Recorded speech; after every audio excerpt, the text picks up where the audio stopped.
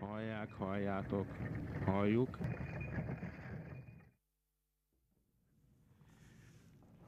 Halljuk, halljuk. A Tilos Rádió népzenei műsorában vagyunk, és mostanában úgy alakult, hogy találóan megjegyezte Szabán Gyuri, hogy átalakultunk ilyen gyászműsorrá, emlékező műsorrá. Eh, sajnos nem rajtunk múlik, de hát fontosnak érezzük, hogy megemlékezzünk. Ugyanis két alapító műsorvezetőnk is elhunyt a közelmúltban. Egy pár, pár hete, vagy egy hónapja Éri Pityú, akit itt a beköszönéskor a 90-es évek során készült ez a felvétel, Ripityum Ézsau néven tisztelhettünk, és Palotai Zsolt most halt meg tegnap, tegnap előtt, nagyon közel, és nagyon váratlanul, erre senki nem számított. Na ő volt a régi népzenei műsorban, Habledér Teperec. Ezeket a neveket hallhattuk Éri Pityu szájából. Hát Zsolt, aki ebben az időben műsorkészítő társa az alapítástól kezdve, és technikusa volt a Tilos Rádió népzenei műsorának, és persze jelentős mértékben zenei közreműködője a felvételeivel.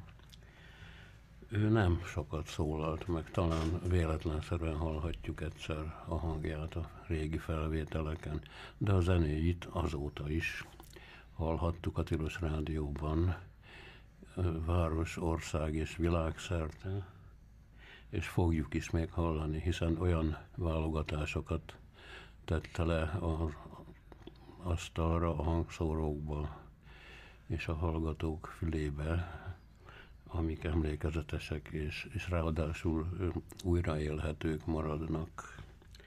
Tehát ez a két számunkra nagyon fontos ember, és sokak számára ő itt marad velünk a hallgatókkal. A főváros, az ország és az emberiség számára jelen lesznek. Isten veled, Pityú után, Palotai Zsolt.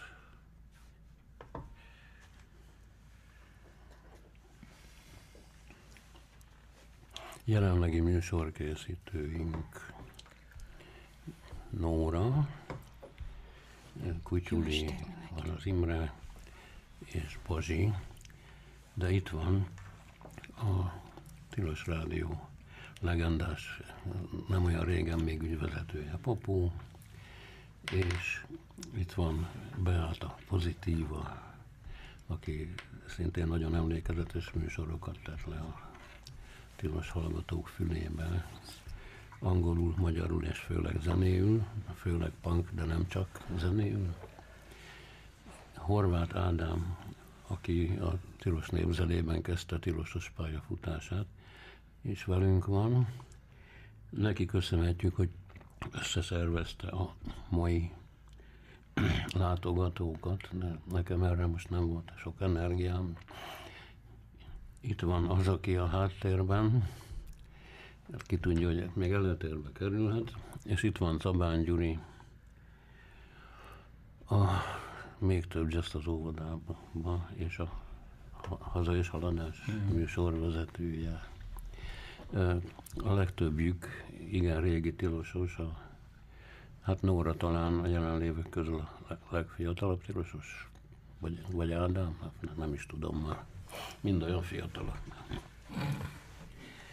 És hát mivel ez a két ember és, és legutóbbi elhunyt testvérünk, Palotai Zsolt alapította ezt a műsort, hát nem tehetjük meg, és nem is akarjuk, hogy ne emlékezzünk meg róla. Hát kinek mi jut az eszébe, azt majd itt felhozza nekünk, és bejátszunk azért olyan zenéket is a népzenéken kívül, amik Zsolt válogatásaiból származnak. Nóra, te kutakodtál, mit, mit javasolsz, mit tegyünk most be? Hát igen, az archívumban találtam egy 96-os népzenei műsor felvétel. Már is szól valami zene?